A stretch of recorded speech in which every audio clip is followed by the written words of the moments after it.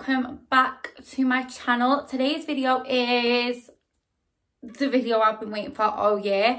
It's the decorate my tree video. I did this last year but i wasn't happy with my tree. I don't know what it was. It just didn't feel that glam. But this year i've gone all out. So i have already decorated my tree as you can see. It's now been up for a day. So I'm just doing this little introduction. I'm going to talk you through my tree, do my tree reveal, and yeah, so I have popped in a little few clips of me decorating the tree, but this year's Christmas tree video, I didn't want to just show me decorating the tree and like talking you through it.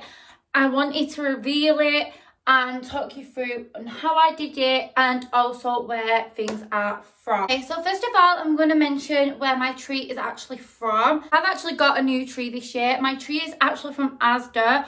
Um, George online. It was £35. It's the six foot Christmas tree. I went for a six foot one because last year's tree, we put it up the other day and it was just far too big. Okay, so you've got a bit more of an idea here. So you can see now the tiara. It's quite large and in charge. I do actually want more little branches like this. I do want to actually get a few more of those. I thought I had enough. I mean, I do, but I don't at the same time. So yeah, the tree, as I said, it is pushed back at the moment. So I've told you where the tree is from. I'm now going to just crouch down here and talk about my basket. So my basket here is actually £10 from Home Bargains. I wanted a grey basket this year rather than just like a rug or something like snow over the bottom. I just find it looks more put together. I mean, if I got a blanket, it'd probably like blend in a bit more with the floor. And because obviously I've got the feather boas, I just wanted something different. So yes, my basket is from Home Bargains.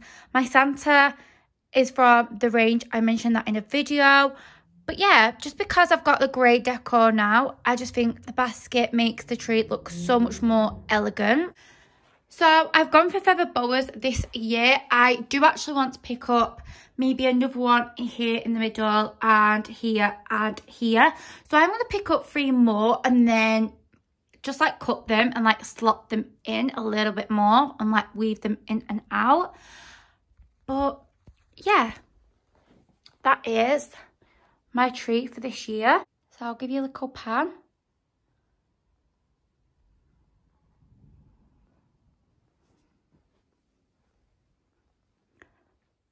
So, as I said a minute ago, I will just repeat that.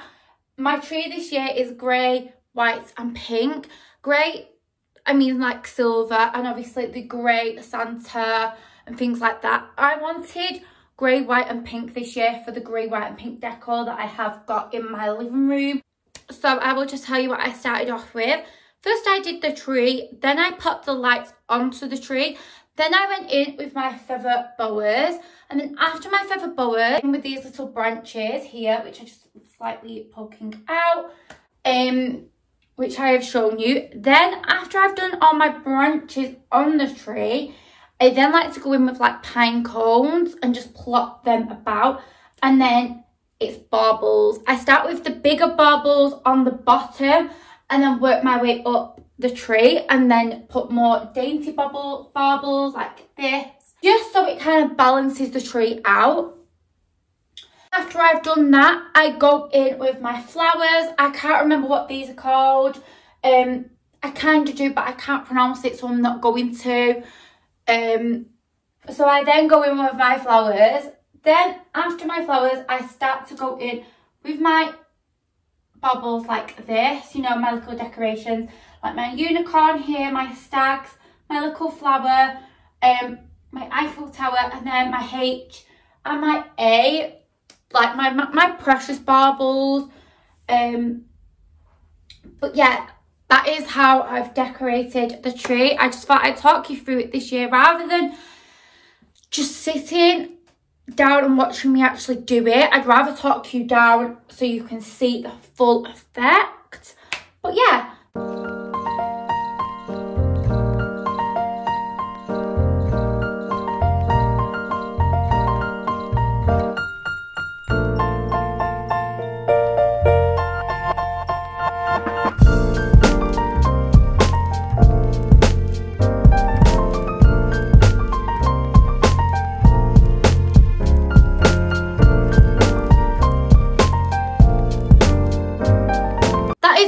today's video. I hope you enjoy. Please stay tuned because there's so much more Christmas content coming and I hope you have a lovely Sunday.